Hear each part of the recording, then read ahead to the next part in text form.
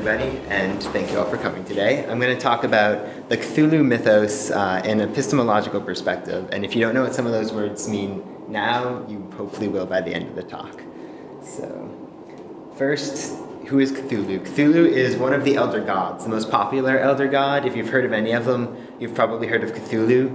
This is Nyarlathotep, this is Azathoth, um, but Cthulhu is the one that everyone seems to have learned. And they all appear fairly terrifying, but the whole point of them isn't that they are physically terrifying, it's that they are inhuman. So they are cosmic entities of unthinkable power. Um, we cannot comprehend how powerful they are and what they can do. Uh, and they often appear to be evil because of what they do, but they aren't. They don't have any concept of good or evil that we could come to understand. Their morals and motivations are far beyond our scope of our ability to process. Um, and with that in mind, they're inherently inhuman. We can't attribute motivations or desires or emotions to them that we can understand. They are as far removed from us as like grains of wheat are from humanity. So they come primarily from Lovecraft, who is an early 20th century writer. Um, he's the father of the cosmic horror genre, uh, where the other gods normally reside. And he basically created these creatures in his stories to present something that reduced humanity to nothing more than something that is. We are not something that has meaning or has a purpose or does things. We are just something that exists. Um, he was an apatheist, which is basically a term um, for a form of agnostic who believes not just that we can't prove whether God exists, but that it doesn't actually matter whether God exists. Like if there is a God, it doesn't it should not affect our actions or choices in any way. And that definitely affected the way he wrote. Uh, the elder gods are not gods in a religious sense. They are entities that reduce humanity um, to something that is not. Uh, they don't care about being worshipped. They don't care about being feared. They don't care about anything we do. Um, they just make their own actions and choices on a plane of existence that is far beyond our own plane. Um, and the point of Lovecraft's stories is to remind us of our own insignificance. Um, he, he himself was relatively insignificant in his own lifetime and would be very surprised that so many of us know his name today. Um, he was most well known among his contemporaries who also wrote unusual things. He's not the only person who wrote about what are now known as elder gods. Uh, Robert W. Chambers wrote uh, a little bit, probably about 10 years before Lovecraft wrote most of his stuff, um, about the King in Yellow, um, also known as Hastur, and it's ambiguous whether Hastur is an entity that moves around or is a city or is both or all of these things. Its existence isn't something that is confined to human perceptions of existence. Uh, and Lovecraft definitely took that theme and ran with it with his own creations. And then August Derleth was kind of an understudy of Lovecraft. And Derleth popularized the Elder Gods. He kind of made a pantheon out of them, and in fact reduced them more to the Greek gods or something of that nature than what Lovecraft envisioned them to be. Um, but he also he helped catalog them, and a lot of the reasons why they continued in the public knowledge is because of Derleth's work. Um, so, what is cosmic horror? Uh, why is it horror, and what makes it cosmic? Uh, Lovecraft said that the fundamental premise of his tales is that common human laws and interests um, have no validity or significance in the vast cosmos at large in the universe um, what we do seems to matter a lot to us, but to an outside observer, like an elder god, means nothing at all. Um, so it focuses on the insignificance of humanity, and that's where the horror comes in. The monsters look gribbly, they have tentacles and like lots of fangs or eyes. Um, but that's just meant to emphasize their otherworldliness, the fact that they are not human, they're not something that exists at all on this planet. Um, the actual horror in cosmic horror comes from the forced realization of the unimportance of everything that you want or do. Uh, it's a kind of intellectual horror more than it is a chainsaw, blood and gore kind of horror. So, sudden break to epistemology. Um, as you might have guessed from what I've told you about elder gods and cosmic horror, human knowledge is, is tiny, is less than a grain of sand um, compared to the scope of the universe.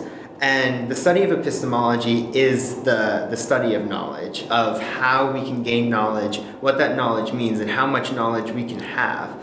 Um, a lot of it focuses on distinguishing justified beliefs like scientific theories from opinions like I like this flavor of ice cream better than that kind.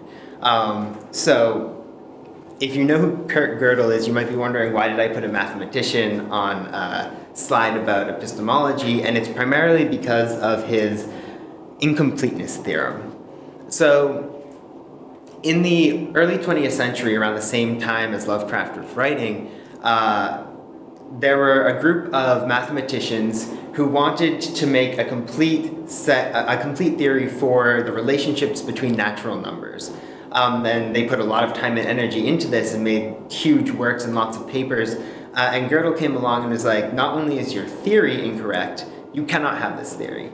In any system of natural numbers, there are things that will be one true and two unprovable. You must simply accept them and you cannot prove that they are true in any reasonable sense. Um, which a lot of other mathematicians were very unhappy about, but as we moved further into the century, people saw that Gödel's theorem was in fact correct, and a lot of his work now underpins uh, mathematical studies that are done today. So this plays along the same theme that Lovecraft's writings do. Um, because it focuses on the fact that we cannot know some things and we simply have to accept them. And that's the point of the other gods. They're there in the stories. You can't really fight them. You can't in any way affect them. You can't make them angry or afraid. You can't make them happy. You just have to accept what they do and try to survive regardless. Um, and in a way that paralleled a lot of the mathematical and scientific discoveries of the age. Um, so we can't comprehend infinities. We approximate them. We try and deal with them. We try and make calculations that use them, but we can't truly comprehend them. Like, if somehow a comprehension of the vastness of the universe were put into our minds, it, we would probably go insane. Um, and in the same sense, I have this uh, sine of theta is approximately theta, and anyone who's done intro physics has probably seen this equation. It's for an appropriately small theta, you can approximate sine of theta to be theta. And that's a very simple example of what happens in science and math everywhere. We approximate so many things because it takes too much time to compute, or we simply can't um, get an exact value for things. Uh, and this again is something that when you're doing science and math, you have to come to accept. And I actually, when I started doing this stuff in college, it bothered me that I couldn't get an exact value. Like, why do I have to make these approximations? But if you're going to get any answer at all, you're forced to accept it. Um, and this theme of acceptance is what elder gods are about about accepting your own insignificance, about accepting your inability to be precise and inability to be perfect. Um, that was radical at the in the first half of the 20th century because at the time a lot of people believed there was perfection that we were moving towards perfection physicists before the quantum revolution thought that they knew everything there was to know and it was just a matter of time that they could use that knowledge to make whatever they felt they needed to make um, and then uh, Heisenberg and the others came along and said no actually there's a lot we still don't know so it's been 100 years since that age, and the Cthulhu mythos, uh, as I mentioned, is a lot more popular now than it was at the time. Uh, it's there are board games for it. There are role playing games for it. It's influenced a lot of other um, aspects of, of gaming popular culture, or uh, I guess you could call it nerd culture in general. Um, but one thing that these games miss is that in the original stories, you're, you're not really fighting elder gods because you can't. You would just lose. They, their power is far beyond our ability to like prick them with a pin. Um, in a game, of course, you have to have a way to win and lose, but we know we've lost that aspect of we cannot affect them and they don't care about us. Most of Lovecraft stories um, actually are telling of something that happened beforehand from a survivor. Like, this is what happened to my family, or this is what happened at the house on the edge of the village I was raised in. And there's no there's no attempt to be a hero and close the portals from which the elder gods are reaching into your world. That's just not an aspect of the stories. Um, and there's one other thing that makes the elder gods really interesting in the 21st century, and it's that we have so much more technology now than we have in centuries past, that to a man living 300 years ago, we are gods. Like, what you can do with your phone or by flying in an airplane, you become a god. They wouldn't believe that we could do that. They would think we were witches or had some supernatural power. Um, and in a way, we understand that we're not gods. And we're, we're not omnipotent or anything, but we might seem like it to someone else. We've created technologies and systems that elevate us to the level of little gods, which means that our systems, our corporations, and our satellite networks, these are elder gods to some degree. They are extraordinarily powerful entities that are not under the control of any one human and affect everybody's life. And to someone who didn't know what made those networks, they would seem like elder gods, like something magical and incredibly powerful. Um, so what makes elder gods fascinating is that there aren't just natural entities beyond our control, but in fact entities that we ourselves create. Corporations, I would hazard a guess that the people who sit on the board of Google don't know everything that goes on in Google. Um, and the same goes for any large government or business.